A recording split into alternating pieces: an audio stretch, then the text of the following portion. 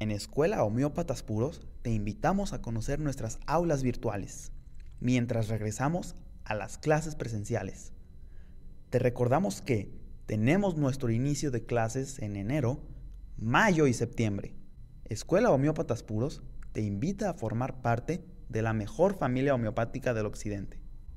¡Inscríbete!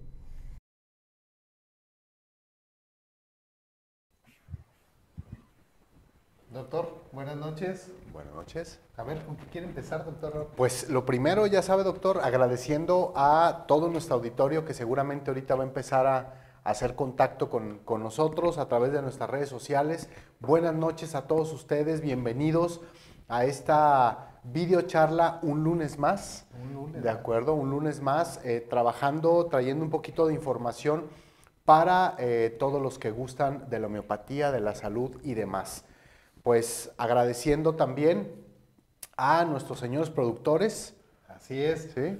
Don Raúl Dávila. Eso, muy bien, palomita. palomita, exactamente. Allá en una parte de la consola y en la otra parte al señor Andrés Román, que está, gracias, gracias señor productor, que está ya listo con, con todos estos cambios y con todas estas eh, tecnologías que de alguna manera representan justamente el tema del que vamos a hablar el día de hoy. Exactamente, exactamente. es de esta generación de la que estamos platicando. Exactamente. Ya tuvimos oportunidad de hacer contacto hace un momento con nuestros tres invitados, como les decíamos ahorita en el video de invitación de las redes sociales. Y quiero dejar al doctor Javier eh, agradeciéndole la invitación como cada lunes para que eh, presente a nuestros invitados. Sí, claro que sí. déjenme invitarlos, claro que, como dicen las damas primero, les voy a presentar a la doctora psicóloga homeópata, egresada de la Escuela de Homeópatas Puros, es la licenciada en homeopatía y psicóloga Alejandra González. Muy bien. Y eh, al doctor Eduardo, doctor Eduardo Guzmán. Ajá y al doctor José Alfonso Figueroa, que ya saben, ya, ya lo hemos tenido aquí de, visita en algunas otras ocasiones. Es nuestro panel hoy para platicar sobre el tema del día de hoy. ¿Verdad, doctor? Así es, así es. una, unos invitados de lujo con muchísimo conocimiento en todas estas cuestiones de psicología, en todas estas cuestiones de em, filosofía, antropología y demás, que de alguna manera nos, nos ayuda a poder entender un poquito em, qué es lo que sucede, qué es lo que ha pasado con esta última de las generaciones, hablando de nuestros eh, jóvenes, nuestros adolescentes.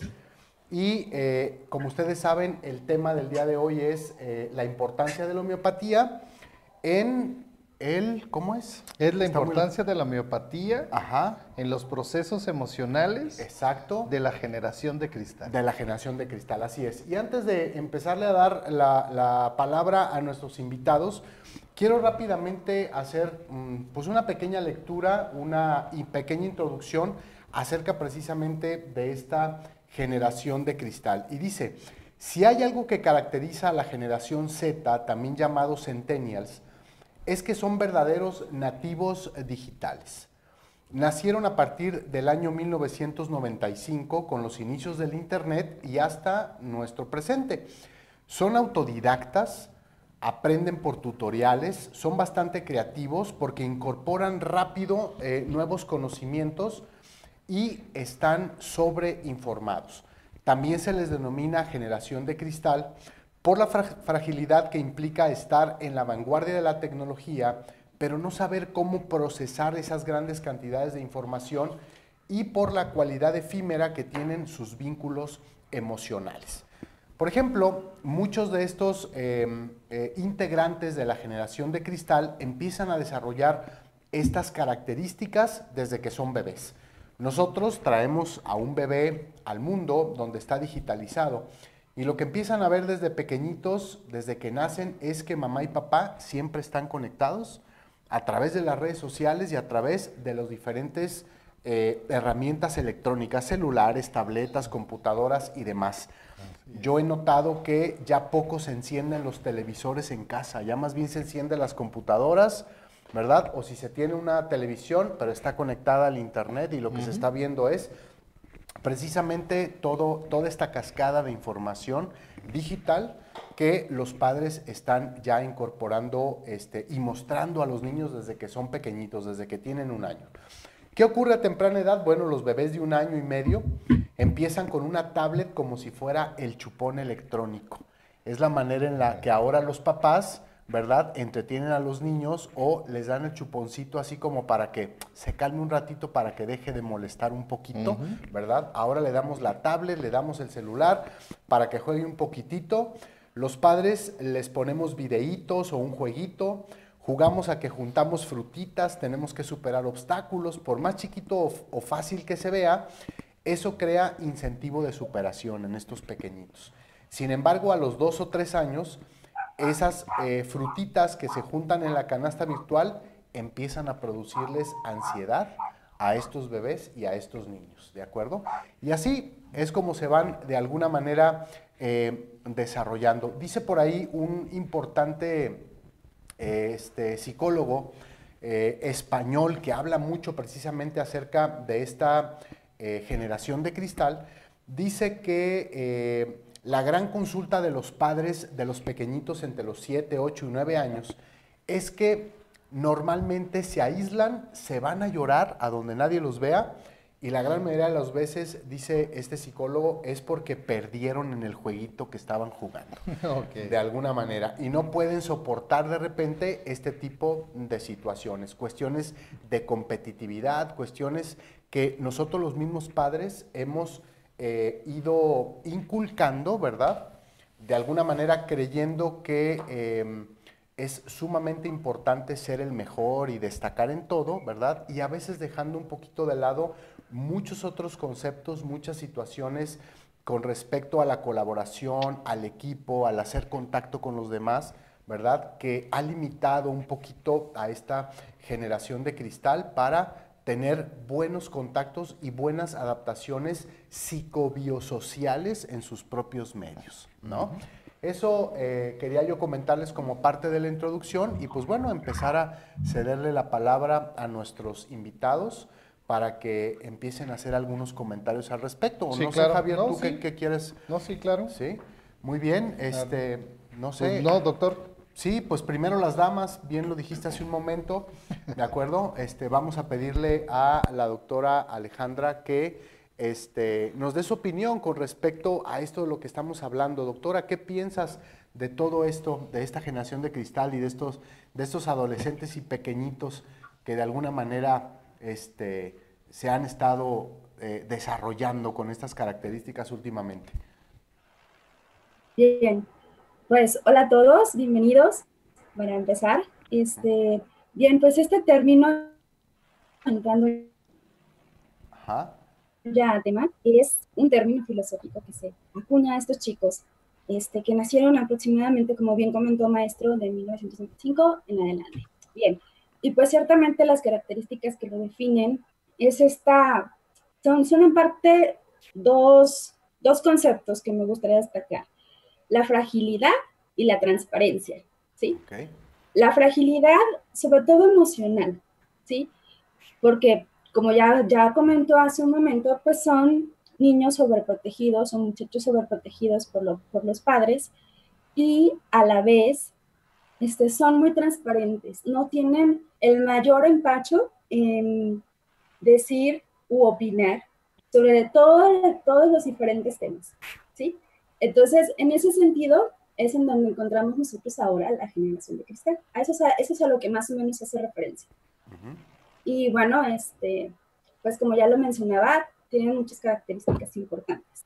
Son muy creativos, tienen mucha disposición para exponer de forma audiovisual, aprenden a través de esos canales. ¿sí? Es decir, todo, pueden hacerte todo si visualizan. Mas, sin embargo, pues carecen de ese, de ese, de ese aprendizaje empírico. Es decir, nosotros aprendíamos a través del ensayo y el error. Y si nos equivocábamos, pues, ¿qué nos decían? Levántate, vuelvo a hacer, inténtalo de nuevo. Y ellos de repente, como no tienen ese estímulo, porque el tutorial no les va a decir, oye, vuelven a hacer, inténtalo de nuevo. Se quedan con esa frustración, porque al del tutorial sí le sale y a mí no. Ok. ¿Entiendes? bien. Sí. Esto, va, esto es más o menos lo que, lo que suele pasar con ellos. Se sobreprotegen y por otra parte se frustran. Es sí, hemos encontrado... Sí, gracias Alejandra. Sí, hemos encontrado este, precisamente como parte de las características, digo, como, como todas las generaciones, todos pertenecemos, pertenecemos más bien a algún tipo de generación con nuestros pros y nuestros contras, ¿no? Con nuestras cosas buenas y también con nuestras eh, situaciones que eh, no son tan positivas y que a lo largo de la historia hemos tenido que superar, trabajar para superarlas, ¿no? Pero en el caso de esta generación de cristal, de estos centennials, ¿verdad? Hemos visto que una de las características negativas pues es precisamente lo que dice la doctora, la baja tolerancia a la frustración, ¿verdad? Las depresiones, las ansiedades que de repente causan precisamente el manejo de toda esta información, pero desafortunadamente la poca habilidad para poderla procesar y para poderla llevar a experiencia vívida, ¿no? A experiencia tangible, exactamente, ¿no?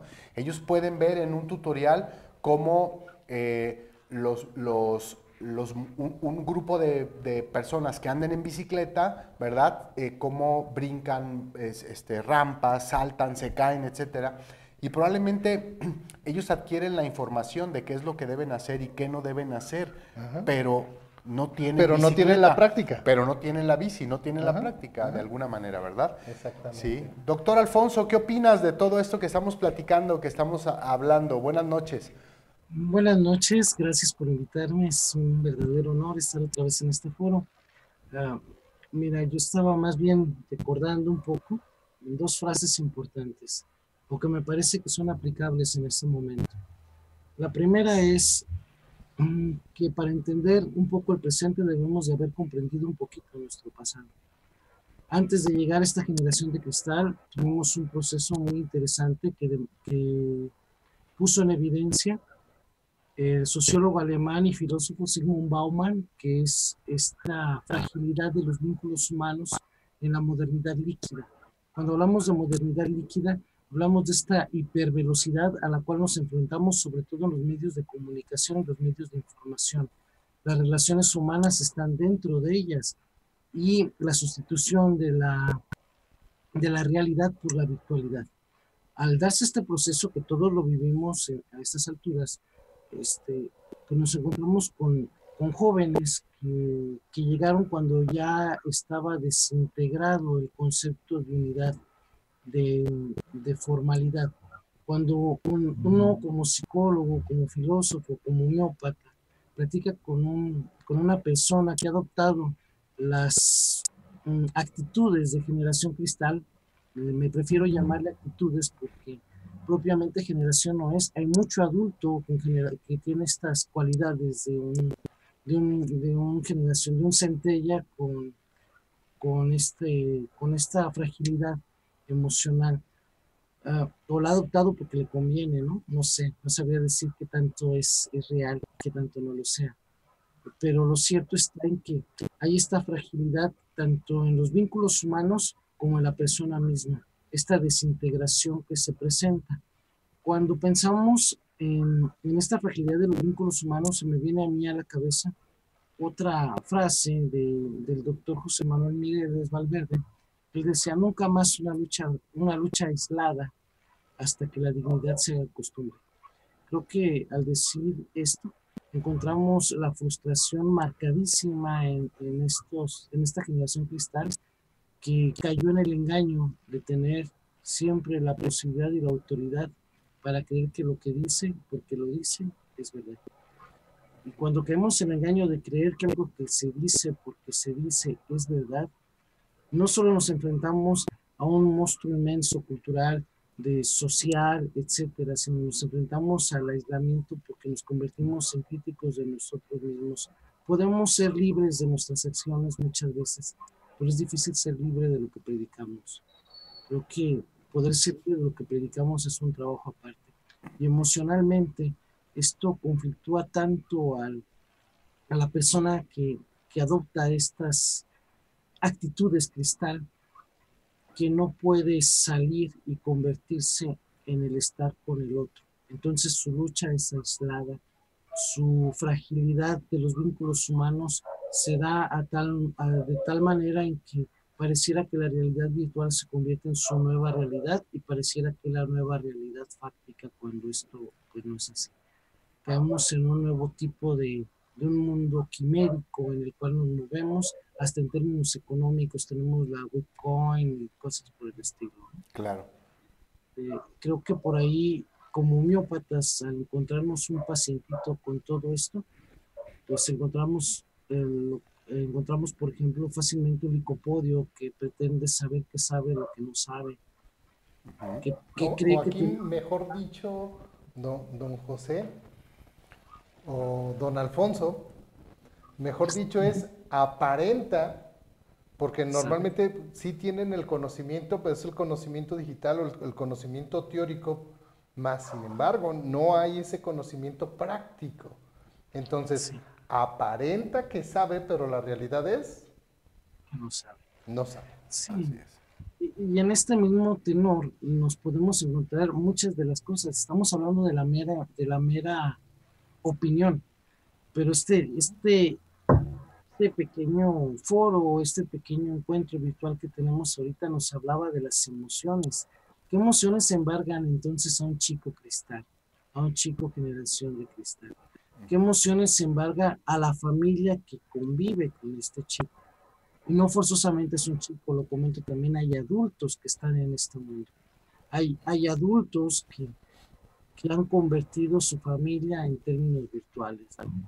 Antes, hace 10 años o 15 años, nos espantábamos o nos llamaba la atención encontrar a alguien que se conoció por internet y se casa.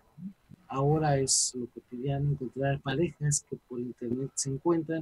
Hay sitios, es más, que delimitan las relaciones amorosas. A esto Sigmund Bauman le llama la conveniencia o el socio conveniente en las redes sociales. Busco mi socio conveniente para compartir una vida. Y si eso llegamos Fíjate, Alfonso, aquí me gustaría a mí intervenir. Es como, como esta característica de personalidad que tiene eh, este medicamento, que tiene esta represión eh, por la ira contenida, ¿no? Que es esta fisagria. Esta fisagria, sus relaciones favoritas son a distancia. Eh, vamos a decir, en, en la época de las cartas, pues eran estas damas y estos caballeros que, toda su relación era por correspondencia, era por carta. Y luego vienen los mensajes de texto y ahora pues están todas estas redes sociales que, nos rodean, que es Instagram, Facebook, eh, Twitter, TikTok, etcétera, etcétera, etcétera, donde pueden mensajearse o, mandarse mensajes y establecer esta misma relación al instante y a distancia. Entonces es esta característica de, esta personalidad o de este medicamento que son sus relaciones favoritas. ¿Por qué? Porque entre más lejos menos daño me hace. Pero siento o me hace vivir esta emoción que estoy buscando. Pero a distancia, sin tener este contacto físico para no correr este riesgo de auto perjudicarme, ¿no? De auto dañarme. Sí, sí, sí, sí. Y, podemos encontrar otras, ¿no? Como Silicia, por ejemplo. Silicia. Silicia está marcadísima esta, esta inseguridad en sí mismo, ¿no? Tenemos ahorita infinidad de psicólogos por Facebook que dices, no puede ser posible, suben sus problemas para que sean ventilados por Facebook y como si fuera el nuevo lavadero, la comadre va a decir lo que tiene que hacer la persona. Y esto tiene que ver con, esta, con este sujeto supuesto saber del otro lado de la y es bastante triste, es bastante, bastante olvidado y aislado, como lo comentaba, que esto lo descubre el doctor Mireles en una cuestión social, que ahora lo vemos aplicado en una realidad virtual. Aquí hay otra cuestión también importante y es que quienes eh, no pretendemos ser de esta generación de cristal o pretendemos no tomar estas actitudes, también podemos caer en la contraparte de denostar la sensación y la, y la sensibilidad de estas personas y decir, ay, sí, ya sé que tú no dices nada, no es importante, me vale, no me importa.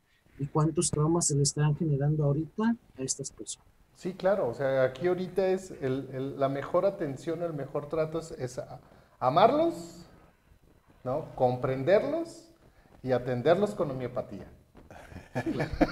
Sí, exacto, platicábamos hace un momentito, platicábamos hace un momentito que esta hipersensibilidad que caracteriza a esta, a esta nueva generación, ¿de acuerdo? Es de alguna manera favorable para la homeopatía, porque, porque que puedan expresar todas estas emociones, que puedan hablar acerca de todo esto, que los haga sensibles, o, más bien que los estímulos provoquen esa sensibilidad, para el homeópata siempre será eh, caldo de cultivo, siempre será favorable. Lo que, favorable lo que queremos escuchar para poder hacer la prescripción de los medicamentos.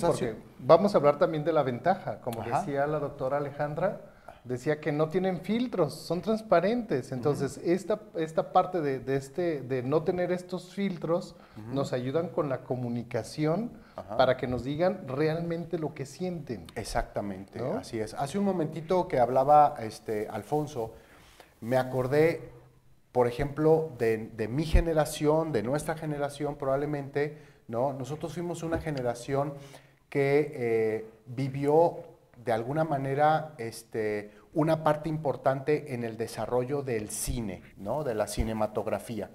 A nosotros, si tú recuerdas, Javier, a nosotros nos tocó asistir a los teatros, a los cines, ¿no? Claro, ahorita también A los autocinemas. A los autocinemas, ¿de acuerdo? Y esperábamos de repente con mucha, con mucha este, inquietud, con mucha ansia, con mucho gusto, que llegara la película fulana, la película sutana, porque la queríamos ver de alguna manera, ¿no? Este, toda esa experiencia de ir, comprar las palomitas y todas estas cuestiones.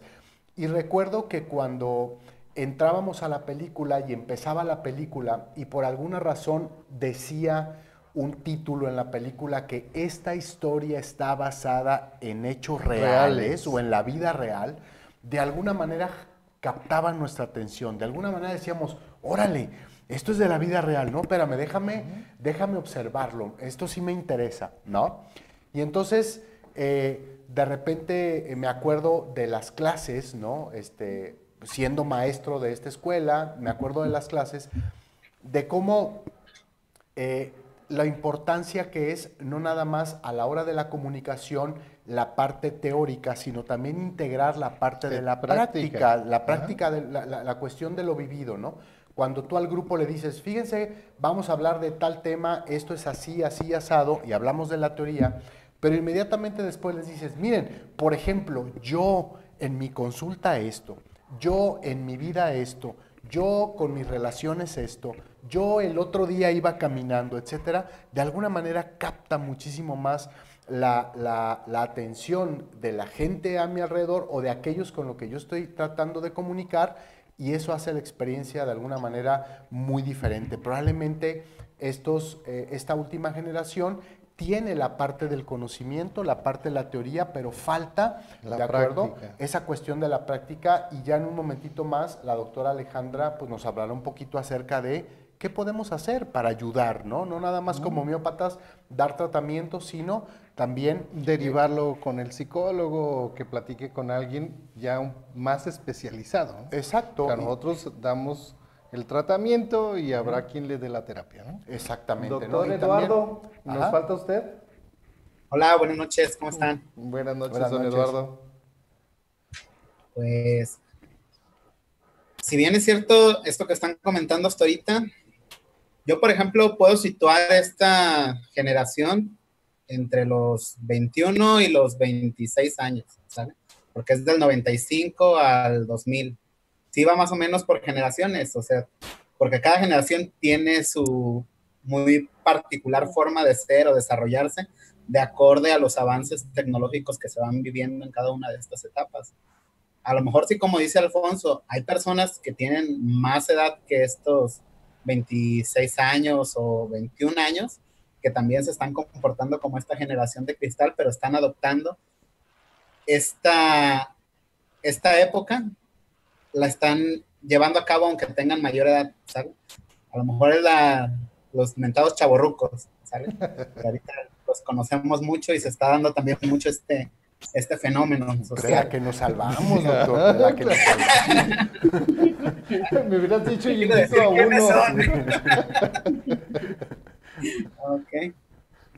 Pero sí es cierto también algo que ya han comentado anteriormente, que a esta generación, pues, a pesar de que tenemos o que tienen mucha información a nivel tecnológico, hay otra forma de empezarse a comunicar, otra forma de empezar a conversar, pero les falta esta parte humana, ¿sale? Esta parte de socializar, esta parte en la cual convivimos unos con otros, en la cual interactuamos este, con el prójimo, con la otra persona que está a nuestro lado, el abrazarse, el convivir.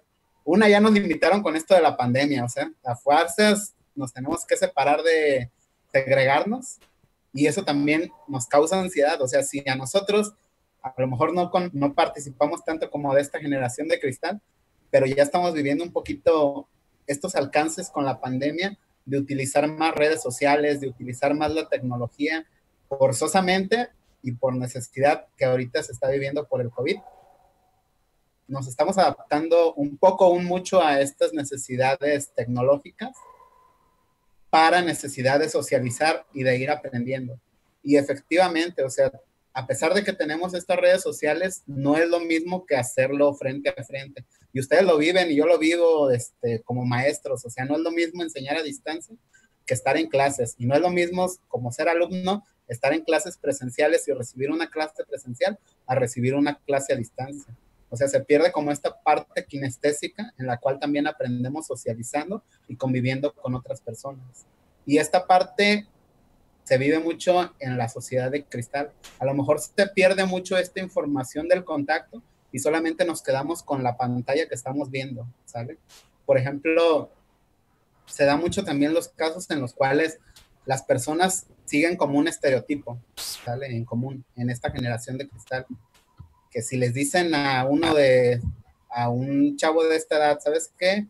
Este, por aquí es verde, o sea, esta situación por donde te vas a ir, este, es la correcta, el chavo se la cree y te la compra como verdad, ¿vale?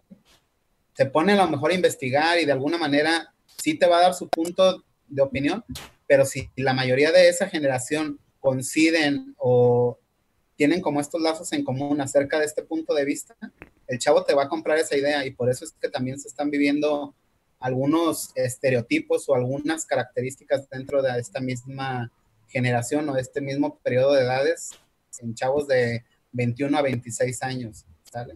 En la cual, pues sí, a pesar de que están muy relacionados en cuanto a expresar sus emociones, pero no las expresan tal cual, a lo mejor por miedo, o sea, lo, expresan como una pantalla o como una máscara, ¿sale? Porque también si ustedes se ponen a checar la incidencia de suicidios en jóvenes, actualmente ha aumentado, ¿sale?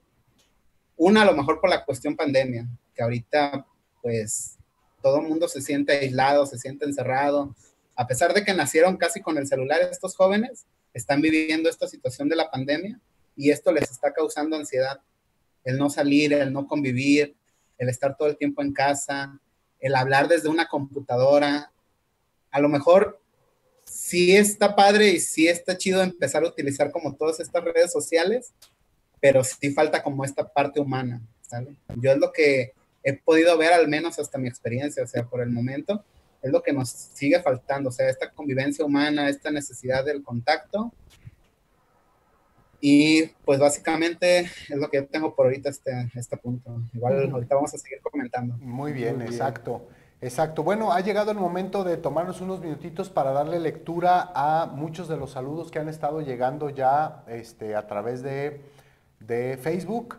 Así que, señor productor, usted díganos, los vamos leyendo. Muy bien, eh, tenemos por ejemplo a Gustavo de León Cantú que dice, hola doctores, qué gusto verlos nuevamente. Gracias Gustavo, igualmente saludos para ti. Eh, Chimina Nicolasa que dice, buenas noches maestro Javier, maestro Belisario.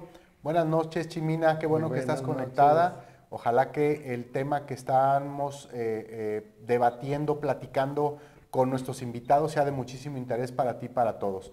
También tenemos a Lara Nava que dice saludos, qué gusto verlos. Gracias, igualmente. Gracias por estar conectado. Miriam Chávez que dice buenas noches, gracias por el tema y saludos. Gracias, Miriam. gracias por estar conectada. Eva Pineda, con el gusto de saludarles desde el Estado de México. Saludos hasta, saludos hasta allá, Eva. Qué bueno que estás conectada. Roberto Roque que dice eh, saludos, buenas noches. Saludos, buenas noches. Buenas noches, Roberto. Eh, Luz Chiquis que dice buenas noches, gracias por su tiempo y espacio, saludos cordiales, siempre es un placer. Ahora sí. Palomita, Luz. Ahí está. Muy bien. Eh, también tenemos a Paco Méndez que dice saludos desde Durango, capital. Saludos hasta Durango. Saludos, eh, Paco, qué bueno que estás conectado, también egresado de homeópatas puros, igual que muchos. Tenemos a Lulú Lourdes Sánchez Montes, eh, o cuál vamos a, a leer, es el Lourdes que dice, hola, buenas noches, maestros Belisario, maestro Javier, tema de importancia vital e invitados de lujo, un gran honor y placer escucharles. Gracias, Lulú. Gracias, Lulú. Y gracias por la bebida de chocolate, está re buena, está re buena. Aquí el doctor, mira, no deja de tomar su bebida de chocolate, ¿de acuerdo? Muy bien. Marta Alicia Mesa que dice buenas noches, saludos doctores eminentes, gracias por compartir. Gracias Marta a ti por estar conectada y por eh, este, siempre buscar esa semillita de crecimiento que todos los temas que el doctor Javier prepara semana a semana nos deja siempre de alguna manera. Eh, también tenemos a Lili Torres que dice muchas felicidades por el tema y los invitados, en especial a la psicóloga y homeópata Alejandra González. Gracias Lili. Te mandaron un saludo. Gracias Lili por tu saludo Gracias, para la doctora, gracias. ¿de acuerdo? Este, también eh, integrante del equipo de homeópatas puros, eh, eh, importante docente en esta escuela. Eh, bien, ¿tenemos algún otro? Este, y Carmen eh, Esparza que dice buenas noches. Buenas noches, Carmen, qué bueno que estás por ahí. Bien, pues este, ya leeremos algunos otros mm, mensajitos en un ratito más. Y eh, continuando con el tema que tenemos, pues bueno, ha llegado el momento de hablar un poquito acerca de características y al mismo tiempo empezar a hablar un poquito de cuáles son las sugerencias o de qué manera podemos nosotros ayudar y ayudarnos, ¿verdad? A entender, a colaborar, a mm, socializar, etcétera, con esta última generación, con esta gener- más bien con esta sociedad. Me gustaría, me gustó mucho que ahorita dijo eh, eh, el doctor Eduardo dice sociedad y también este eh, Alfonso dicen sociedad de cristal, Ajá. porque bien lo acaban de decir, no nada más es una generación con respecto a personas de cierta edad, sino que también hay adultos mucho más o personas de mucho mayor edad que ellos que de alguna manera por cuestión de su personalidad, por cuestión de su percepción, del desarrollo que han tenido, de alguna manera como que han encajado muy bien en esta, en esta, En en, esta en esta categoría. época o en esta categoría, ¿no? Y se han sumado junto con estos jóvenes, se han sumado y entonces más que hablar de una generación, más bien sería hablar de una sociedad. Una sociedad de, ¿De acuerdo? cristal. Sociedad de cristal, para de alguna manera este, eh, eh, abarcar un poquito más. Así que bueno, dejemos nuevamente eh, el micrófono con la doctora Alejandra para que nos hable un poquito características, doctora, y de qué manera podemos nosotros ayudar, qué podemos hacer con toda esta generación, incluyendo la homeopatía, ¿eh? Claro. Bien, bien. Este, creo que lo importante aquí sería como rescatar este concepto de la sobreprotección y de cómo esta inhabilita, ¿sí? Cuando nosotros sobreprotegemos a alguien, lo estamos inhabilitando, diciéndole, ¿sabes qué? Tú no puedes hacerlo, déjalo, hago yo, ¿sí? O deja, este, yo lo hago mejor. Entonces, psicológicamente hablando, lo estás incapacitando. Entonces, es, es necesario, apremiante, aventar al niño, al joven, al adulto, al mundo, sacarlo de la virtualidad en la que vive. Es imperante, urgente, aventarlo al mundo, llevarlo al mundo. Es necesario que empecemos como padres, como maestros, como compañeros, como hermanos. Lo que comentaba el, maestro Eduardo, ¿no? Somos seres sociales y hay teorías que, que lo avalan, ¿sí? aprendemos a través de ese contacto, de ese moldeamiento, de, esa interacción con nuestros pares. Entonces es importantísimo que los, que los saquemos de esa virtualidad, los llevemos a la realidad. Esa creo que sería la primera recomendación que daría, ¿sí? Hay que reducir los tiempos que pasan los chicos frente al computador, frente al móvil, frente al televisor.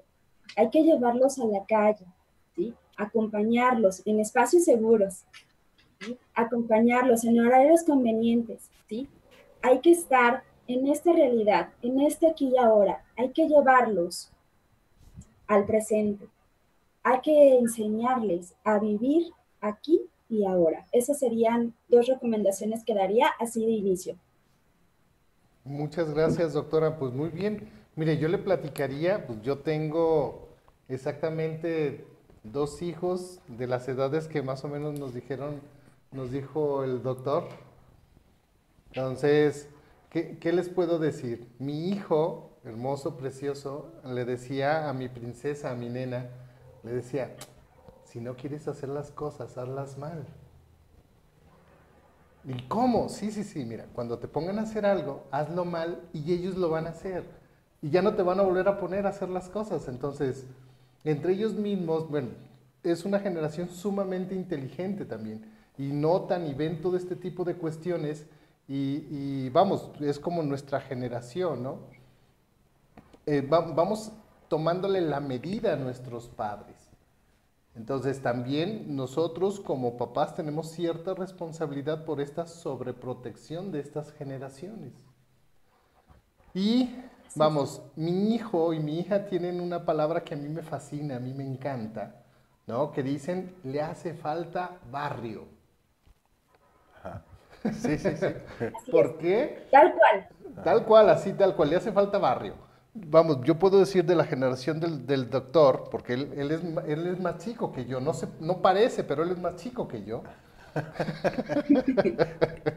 Entonces, de nuestra generación, a nosotros sí nos dejaban salir a la calle a jugar. No había los peligros o no había esta inseguridad que hay hoy en día. Entonces, nosotros sí somos niños de parque, sí, sí jugamos fútbol en la calle, sí jugamos patineta, avalancha, chichilegua y todos, todos los demás sinónimos, ¿no? Quien, no, sabe qué, son esos juegos, googleenlo. Entonces, nosotros, a nosotros sí, sí nos dieron la oportunidad de jugar o de tener este contacto con el exterior.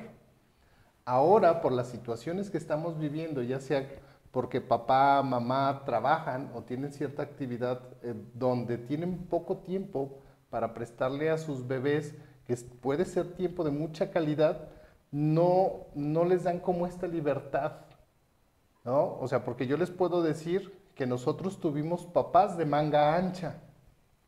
¿Qué es un papá de manga ancha, no? Pues nos daba la oportunidad de caernos, nos daba la oportunidad de correr, nos daba la oportunidad de equivocarnos. No nos hacían las cosas por nosotros, ¿cierto, doctor? Sí, así es. Entonces, yo, les puedo platicar una anécdota de, alguien que conozco que se cae, se cae, está la abuelita o el abuelito y le dice, ven para levantarte. no, y ahí va, ahí va el bebé, así arrastrándose ah, hasta llegar con el abuelo hasta donde el, abuelo lo levanta, ¿no? Entonces, pues bueno, lo mismo hubiera sido que, él se levante solo, ¿no? ¿O qué pasaba cuando nosotros nos peleábamos en la secundaria, en la, primaria o en la, prepa? Eh, a lo mejor en la primaria llegabas y, tenías una diferencia con algún compañero, te sonaban, llegabas llorando con tu mamá y había mamás que decían, yo tengo una hermana que esa es su frase favorita, ¿eh? no les voy a decir cuál, que dice, ok, si te vuelven a romper tu mandarina en gajos y vienes y me chillas, te voy a dar yo. Entonces, o te lo, o te lo suenas o te sueno yo. ¿No? O sea, que son como formas muy diferentes de, educar.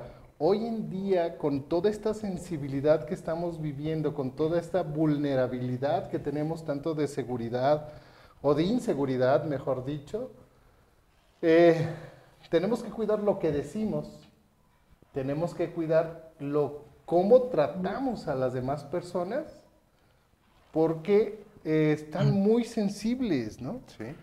Que, que de hecho era un tema que íbamos a platicar el día de hoy, pero elegimos este porque es mucho más extenso y bueno, no les quiero quitar más la, la voz porque su voz es muy importante y su opinión pues ni se diga. ¿Verdad, Exacto. doctor? Sí, así es. Este, doctor Alfonso, ¿tú qué opinas con respecto a estas características de esta generación, de esta sociedad y de qué manera podemos nosotros eh, traer ayuda, aparte de, de la homeopatía, ¿no? a, a todo esto que, a lo que nos estamos enfrentando como sociedad? Bueno, me arrebataste el concepto de la boca. Sí, primeramente, con homeopatía. Son, es una nueva sociedad muy individualista y nosotros nos regimos por la individualidad. No hay mejor medicina para lo individual que la homeopata. Entonces, primera recomendación es lleve a su millennial generación Z cristal al homeopata, no se le olvide. Segunda recomendación, estaba viendo la cuestión social, creo que, creo que los espacios han cambiado muchísimo. Quizá en otro tiempo nadie me va a quitar a mí la adrenalina de aventarme en una bajada sin saber treparme una bicicleta y órale, paso, ¡pum! no viene carros, pues y a estamparse con el primer poste que se encontraba uno, ¿no? A lo mejor esa adrenalina ya no sea tan fácil de vivir porque la inseguridad no te lo permite, porque la sociedad es otra, porque el trato es otro, ya no puedes confiar tan fácil en el vecino, etcétera, etcétera. Pero sí hay espacios controlados, no sé, estaba pensando en las escuelas deportivas como es Guardias de México Militarizado Rescate, que tiene esta posibilidad de enseñar rapel, tirolesa, defensa personal, primeros auxilios, y bueno, tenemos de alguna, de alguna manera que agarrar barrio, como comentaba el maestro Javier. Eh, por otra parte, tenemos la necesidad de que aunque sea controlado, pues se, se lleve a cabo, ¿no?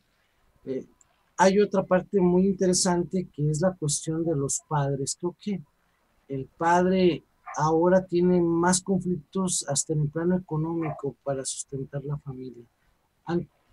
Yo veía los, los reportes de antes de la Revolución Mexicana y un peón tenía sus dos mujeres con 10 chiquillos cada uno, cada una, y las mantenía las dos. Y ahorita trabajan papá y mamá para mantener a un niño. Entonces creo que es de repente muy difícil tener esta posibilidad de dar toda esa atención que requiere una, una generación como es esta.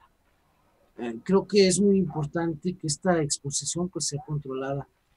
Por otra parte, el, el individualismo, la individualidad, que, que es la que sin duda podemos estar a cada momento, pues preguntándonos por ella, también pensar en que es una responsabilidad, y es la segunda parte de la que no se les ha inculcado y no lo va a hacer el Internet. Sí vamos a ser individuales, sí vamos a ser personas independientes, pero vamos a ser responsables de ser. Creo que en esa medida podemos encontrar otro tipo de alternativas. Ya vimos la psicológica que nos bien nos platicaba la doctora, ya vimos el planteamiento social como bien nos lo platicaba este, el, doctor Lalo, pero creo que falta la parte de ser responsables de nuestros actos y la parte donde es más difícil y que es donde entran los padres. Yo cómo puedo enseñarle a mi hijo a decirle que va a ser responsable cuando soy el primero en decirle, si es el cobrador de Electra, dile que no estoy. O sea, Claro. creo que hay una incoherencia en esta parte y a lo mejor también estamos sobredemandando al, a- a- al joven generación de cristal, porque ahora ya no es un niño, es un joven, por los datos que presentaba el maestro Lalo. Ya 21 años, digo, en mis tiempos, 21 años, ya estás, ya tienes bigotes. Sí, exacto. Qué bueno que lo dijiste así, porque hay otra manera más ruda de decirlo. pero nos entendemos perfectamente. Ya 21 años, digo, este Alejandro Magno a los 16 dirigía el Imperio Romano. O sea, vamos siendo reales, y esto no es por denostar a los viejos, porque a los noventa y tantos, este, no había, a los 96 no había mejor intérprete de Bach que el maestro Delfino Madrigal, ¿no? Entonces tenemos que, entender que, que si hay una responsabilidad y es la parte que a lo mejor no hemos sabido mostrar, hemos informado o estamos informándonos, es decir, in nos estamos no formando. Entonces, a lo mejor sí hay que recurrir a esta noción nueva de, de formarnos como ciudadanos, de formarnos como personas y bueno, de seguir buscando a nuestro miópata para que nos ayude a mover nuestra energía vital en ese sentido. Sí, claro. Doctor, me encanta su punto de vista, me, fascina el cómo nos lo explica, así, así sí lo entiendo. Fíjese, es como esta generación eh, tuvieron mucha educación en cuestión de sus derechos. Sí. O sea, si, yo, si yo recuerdo cuando mis, mis bebés estaban en, en, la escuela, les enseñaban mucho lo de sus derechos. De hecho, llegó uno de mis hijos, llegó mi hijo mayor, mi bebé, y me dice, es que tengo derechos. Y yo, pues sí, pero también obligaciones. Entonces, si, si también eh, cedemos en ciertas cosas, pues, o sea, ellos tienen derecho, pero pero se hacen patos a veces con, la cuestión de sus obligaciones, ¿no? Y nosotros como padres, a veces para, como para no tener problemas o no tener conflictos, eh, no, no delimitamos eh, como estas responsabilidades que ellos tienen, y es como no hay un límite, vamos, como no hay un, entrenamiento o una educación en este sentido, pues es cuando comienza el desorden, ¿no? Claro.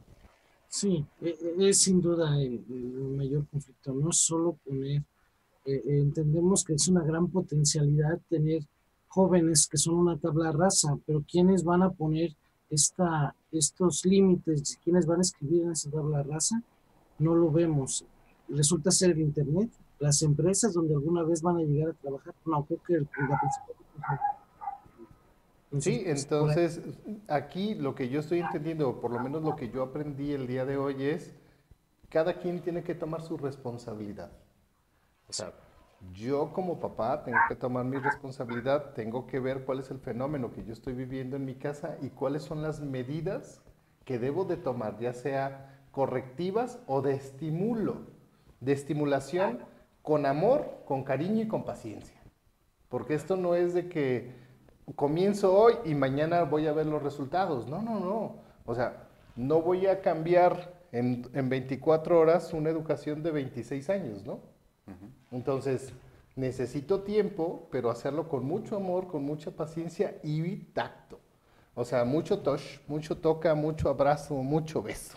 Exactamente. ¿No? Así es, muy bien. Doctor Eduardo, ¿tú qué opinas con respecto a estas medidas o estas... Mm, este, cosas que la sociedad podemos implementar para ayudar a esta, a esta parte de, nuestra sociedad cristal? Ok, pues básicamente, como ya lo hemos venido comentando, es una sociedad que se sabe la receta, pero no se sabe poner a cocinar. Se sabe la receta, pero no sabe cómo aplicarla. Y es lo que nos hace falta, o sea, empezar a aplicarla. Conocemos, como bien lo dice el profe Virales, nuestros derechos, nuestros valores, o sea, esto ya lo traemos más que bien calcado a nuestra cabeza, pero no sabemos cómo llevarlo a cabo, ¿vale? Pues básicamente es eso, o sea, empezarlo a poner en práctica de alguna que otra manera, ¿sabes? Llevarlo a espacios públicos, llevarlo a espacios este, educativos, llevarlo a espacios sociales también. Todas estas formas de expresión, pues, de la sociedad de alguna manera y empezarlo a trabajar con los jóvenes, adolescentes, adultos. Información sobra, como ya lo vimos y ya está más quedado por hecho. O sea, tú quieres saber algo, ya no se ocupa de tener un gran cerebro como anteriormente. O sea, te consideraba una persona inteligente que tenía mucha información. Y ahora, pues la información básicamente la podemos conseguir de un móvil. Agarramos un teléfono, texteamos lo que necesitamos, y ahí nos aparece la información que necesitamos sobre X o Y situación, ¿sabes? Ya ahora la inteligencia no es eso, o sea, tener información ya no es inteligencia, sino saberla aplicar, sino saberla llevar a la práctica. ¿vale? Y es lo que hay que empezar a hacer también con toda esta información que ya tenemos, empezarla a utilizar de manera positiva, de manera proactiva y de manera que pueda ser favorable para nuestra sociedad, de alguna manera. Y esto es lo que tenemos que empezar a poner en práctica. De hecho, hace días lo tomo a, ejemplo, porque pues fue una noticia que salió en redes sociales y toca mucho como estas fibras sensibles de la generación de cristal. El aspirante a gobernador de Nuevo León, este señor Samuel García, no sé si lo vieron, este, que le Decía que él llevaba una dura juventud, que porque después de un viernes de fiesta, el domingo su papá lo obligaba a levantarse a jugar golf y que eso para él era muy difícil, era algo que él no había podido superar hasta la fecha. y es cuando te pones a pensar también como esta contraparte, o sea, para algunas personas nos puede resultar gracioso y decir, ¿sabes qué? Pues eso para nada te debía de haber afectado, ¿sabes? Pero tiene también que ver con su psique, tiene que ver también con su mundo, tiene que ver con su nivel social, tiene que ver con su estructura mental también de este señor, ¿sabes?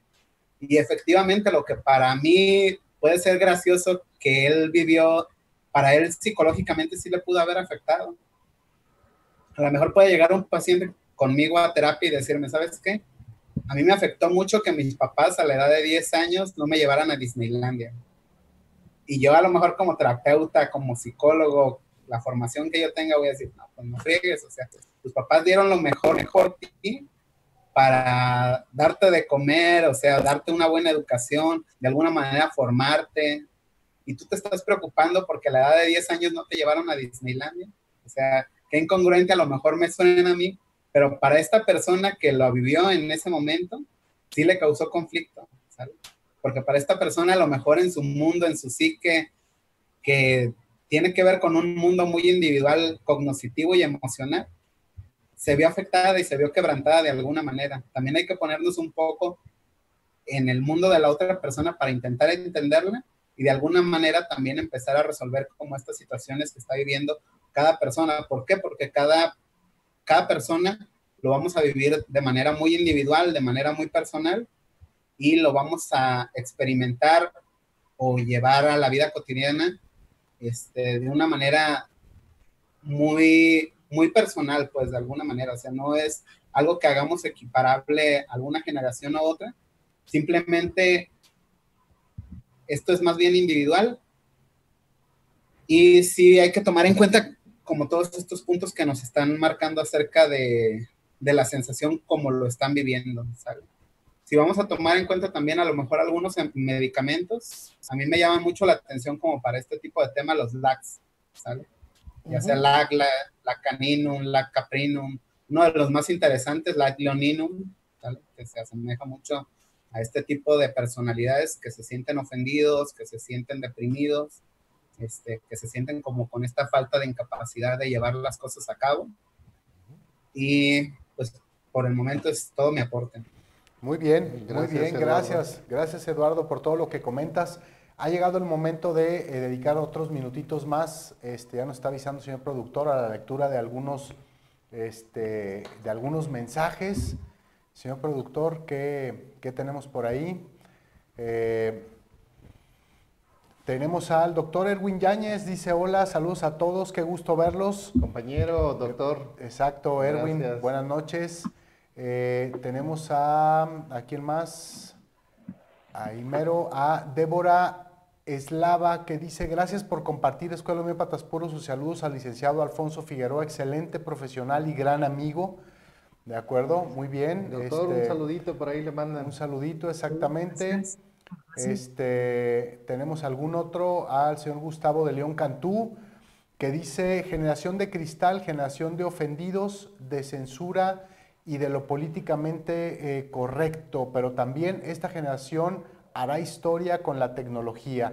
En efecto, así es, como decíamos hace un momentito, este, Gustavo, todas las diferentes generaciones han tenido sus... Eh, cuestiones a favor, sus cuestiones sus en contra. ¿no? Exactamente, ¿no? De alguna manera, y eso de alguna forma ha enriquecido también lo que somos como sociedad. Sí, claro. Entonces, lo que nos corresponde es también los que no pertenecemos a estas generaciones, pues aprender las cosas buenas de ellos. Es, es como por darte un ejemplo, o sea, puede llegar cualquiera de, cualquier persona de esta generación, o de esta sociedad de la que estamos platicando, puede llegar con nosotros a consulta y una mala pregunta, una, una, una palabra fuera de lugar, puede ofender a esta persona o puede ofender a mi paciente con esa sensibilidad emocional que tiene o esa falta de madurez emocional, ¿no? O por esta sobreinformación que a veces ellos tienen más información que nosotros de su enfermedad. ¿no? Y nos pueden dar una cátedra, un gran curso de su enfermedad. Entonces pueden ofenderse y ¿saben cuándo los vamos a volver a ver? Sí, ¿no? Difícilmente van a Nunca. Van, no les gustó la experiencia y se van. Entonces, no, eso es también para también nosotros aprender el trato ah, de estas nuevas generaciones que tenemos ya, ahorita, ¿no? Exacto, ¿no? Homeopáticamente hablando, tenemos que empezar a la 30, doctor, y luego irle subiendo, a la 200, irles cargando la manita a la 200 y a la 1000, ¿verdad? Tenemos que empezar así. Muy bien, también tenemos eh, más saludos a M. Guadalupe que dice, hola, Lupita, egresado de homeópatas puros, un placer escucharles. Lupita, buenas, buenas noches. Eh, Rocío Carrión que dice saludos Escuela Homeópatas Puros y licenciado José Alfonso Figueroa, gracias por compartir la conferencia tan interesante. gracias a ti por tu paciencia. Otro saludo, doctor. Así es, otro saludo. También eh, tenemos a Gar Marci que dice saludis desde Michoacán, eh, doctor José Alfonso Figueroa. Saludos. saludos hasta allá, hasta Michoacán. Eh, Ali Ramos que dice totalmente de acuerdo con el licenciado en filosofía José Alfonso. Gracias Ali, es correcto. Todo lo que han dicho nuestros tres invitados el día de hoy, pues bueno, no nada más información eh, veraz, oportuna, voy a sonar comercial, ¿de acuerdo? veraz y oportuna de, de acerca de esta generación, sino también muy buenos consejos con respecto a lo que tenemos que hacer y, a la manera en la que nosotros debemos de irnos integrando e ir ayudando, ¿verdad? Sí, claro. aquí esta generación. La, recomendación, ustedes saben, fue algo que me faltó al, comenzar esta videocharla. Aquí lo más importante es que no se automediquen. Eh, visita a tu homeópata y ya tu homeópata sabrá qué hacer, ya sea que te administre o te derive algo que tienes que comprender o algo que nosotros tenemos que aprender, mejor dicho, es cómo le podemos decir a nuestro paciente que lo vamos a derivar con alguien que platique. ¿Cómo le puedo decir yo a mi paciente, oye, necesitas ir con el psicólogo a platicar tantito? ¿Cómo se lo puedo decir? ¿Por qué? Porque lo puedo ofender y va a decir, bueno, es que a lo mejor me está diciendo que, que no estoy muy bien de mis facultades o que estoy loquito y me está mandando con el psicólogo. exacto. Entonces es algo que también tengo que aprender, que normalmente cuando nosotros estamos aquí en el laboratorio de clínica, que estamos eh, viendo las consultas, ¿no? vemos todas estas técnicas y todos estos modos de cómo decirle al paciente todo este tipo de cuestiones sensibles. Así es. ¿Cierto? Sí, así es. Pues tenemos más saludos también a Pablo Roberto. Bueno, tenemos a Eva de la Mora que dice, Gracias por compartir, muy interesante, que Dios los bendiga. No, gracias a ti Eva y saludos. Ya tenía ratito que no oía de Eva, ¿verdad? Exactamente, ah. así es. Eh, Pablo Roberto García que nos dice, precisamente de eso se trata, eh, todo les molesta y las cosas no son siempre como nos gustan, la vida es así y hay que vivir con eso. En efecto, Pablo, eh, ya lo comentaba por aquí nuestros, nuestros invitados, ¿verdad? Que son parte de las características que han adquirido de alguna manera eh, todas estas personas pertenecientes a esta sociedad, ¿no? Pero también muchas de estas cuestiones nosotros se las hemos desarrollado, se las hemos proporcionado. Así que ahora es momento de frenar, como dijo la doctora Alejandra, frenar un poquito, limitar el contacto virtual y empezar nosotros a hacer lo que nos corresponde. A nosotros que les quitamos la oportunidad por diferentes circunstancias, empezárselas a regresar decíamos primero a la 30, luego a la 200, luego a la 1000, ¿de acuerdo? Y ellos también eh, con su inteligencia empezarán a eh, utilizar el recurso que ya tienen adquirido para empezar a salir adelante. Chimina Nicolasa que dice, es necesaria la disciplina con amor. Como padres también se tiene la responsabilidad de aprender, de actualizarse, de informarnos, porque llega un punto en el que la educación queda en manos de la tecnología. Es correcto, Chimina, tenemos que hacer nosotros nuestro trabajo. Si somos papás, tengo que ser papá de tiempo completo, no nada más papá un ratito y la otra parte dejar a mi tutor internet para que se encargue de lo demás, ¿no? Sino tenemos que hacer, creo yo, el trabajo que nos corresponde. Ay, doctor, ¿qué le puedo decir aquí en este sentido, no? Pues sí, eh, volvemos a lo mismo, es tomar nuestras responsabilidades, ¿no? Y eh, lo que pasa es que tenemos esta idea del trato quizá que nos dieron nuestros padres a nosotros de modificar ciertas cosas.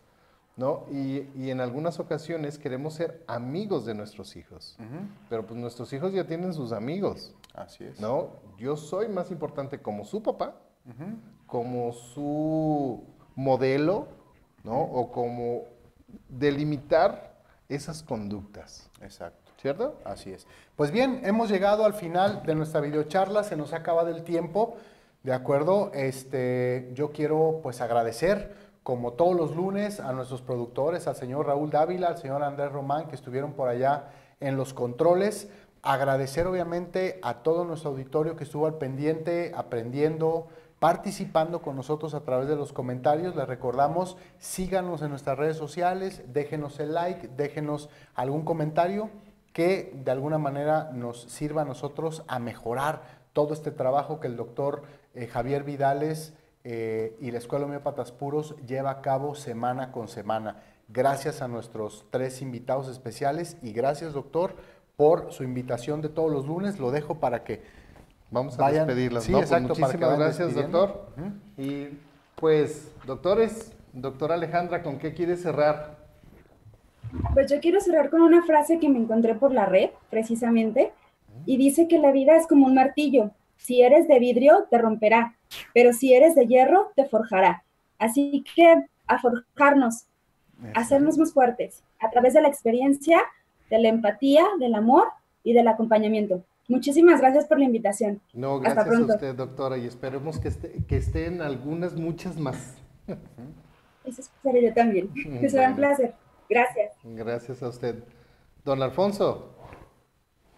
Bueno, pues yo primero que nada me despido agradeciendo la atención de, todo el auditorio, de las personas que se tomaron el tiempo para escucharnos. Este, agradecer a la escuela también que me tiene en consideración para presentarme y, bueno, pues la invitación sigue siendo clara. Yo creo que tenemos que voltear a dejar de ver tanto al otro y voltear a vernos a nosotros mismos. Y voltear a vernos en el sentido responsable de la palabra, respondernos a nosotros mismos.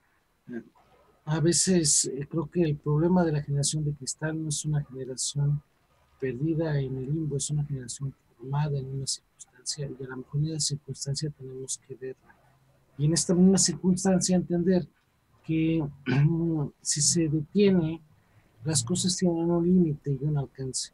Entonces a lo mejor también tengamos que encontrar ese límite y esos alcances y darnos oportunidad de que así sea. bueno, invitarlos a que, a que busquen a su homeópata preferido y si no buscan a su homeópata preferido, pues tengan en cuenta de que no, no todo, no todo tenemos que tener eh, el 100% de las cosas, pero creo que la homeopatía es la mejor opción en términos de individualidad. El psicólogo tendrá la oportunidad de participar como psicólogo, el sociólogo de ver el proceso social que esto nos lleva, pero bueno, lo más importante es que sí, que nos atendamos un poquito más con homeopatía. Gracias. Mm, gracias, doctor. Doctor, a ver, platíquenos. ¿Por quién vamos a votar en estas elecciones, sobre todo allá donde usted vive? A ver, platíquenos. No tengo la más remota idea todavía, pero... Una sugerencia, sí, vamos, vamos, usted puede. No, ¿para qué quiere que...? No, así déjele, compañero, no vaya a ser el diablo que... Pero muy bien, el, el doctor más adelantito nos va a hacer una invitación para un curso que que nos está planteando. Ya les diremos fechas y horarios para, el, para el curso. ¿Cómo, ¿Cómo se llama el curso, doctor?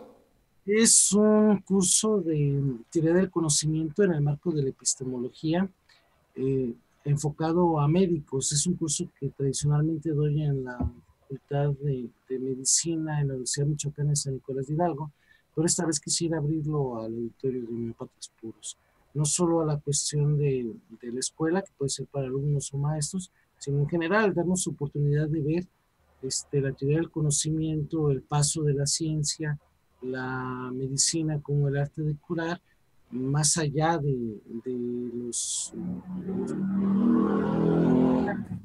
Y también aprovechar ahora sí que la red para llegar a más personas. Perfecto. Perfecto. Gracias, don Alfonso. Le agradezco su participación. Don Eduardo. Muy bien, pues muchas gracias por haberme invitado también a esta videocharla. Me hizo bastante interesante y pues nada más que agregarle que pues este es como un análisis pequeño antropológico de una muy pequeña parte de la sociedad y es un grito exacerbado de la sociedad enferma que a fin de cuentas nos está gritando y nos está pidiendo ayuda de alguna manera. ¿Cómo jalar como a esta pequeña sección a que lleve un proceso psicológico, terapéutico o homeopático de cualquier tipo, pero con la finalidad de que busque el curarse o el bienestar propio? Bueno, pues si ya sienten que esto de las redes sociales ya lo superó, esto de la pandemia ya lo, ya lo superó, esto de las sensaciones que están presentando ya no les son favorables para las actitudes que están llevando en su día a día, pues hablarles en su canal, o sea, ellos son muy sensitivos. Invitarlos, oye, tú no sientes que te hace falta como llevar un proceso terapéutico, tú no sientes que te hace falta como empezar a consumir algún tipo de medicamento homeopático y platicar más que nada con ellos, o sea, hacerles la invitación, porque ellos, una persona cuando necesita, no ocupa ni siquiera decirle, Él solo va y busca la ayuda. Sí es importante platicar con estas personas cuando ya las vemos este, que se están viendo afectadas o que las está superando como todas estas situaciones de las redes sociales para que se encuentren pues más que nada que encuentren como esta salud mental o salud física también en su dado caso, si fuera con medicamentos homeopáticos. Y pues hacerles la invitación, o sea, estamos abiertos, hay muchísimos profesionales que nos dedicamos a todas estas áreas y pues que se atiendan, básicamente. Uno sabe cuando lo necesita. Cuando lo necesita, pues va a ir, fin de cuentas. bien, muchas gracias. No, gracias a usted, don Eduardo. Gracias a todos ustedes. Y bueno, pues ya todo buen comienzo tiene un buen final. Sí, exacto. Entonces esperemos tener otra videocharla con, con nuestros panelistas, con nosotros, ¿verdad? Claro sí. está. Entonces te agradezco tu tiempo, gracias por, por vernos, gracias por seguirnos. Recuerda, si esta videocharla te gustó, dale me gusta, compártela mi nombre es Francisco Javier Vidales, soy director de la Escuela de Homeópatas Puros. Recuerda que amo la homeopatía. Y cuídate, no te enfermes, nos vemos en nuestra próxima videocharla.